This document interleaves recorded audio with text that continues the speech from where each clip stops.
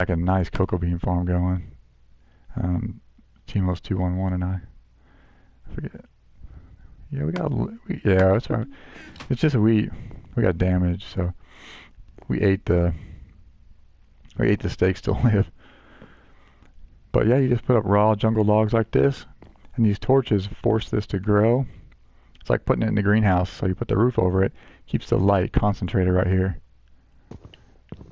And like say, we've probably done four or five days of Minecraft, like Minecraft days.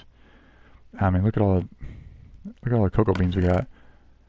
You know, he's got 35 in there. I got six here. I just harvested now because this one, this chest uh, belongs to Timos 211. And then I've got what 64, and then 266, six more. It's the same six more. And that's only in like four days.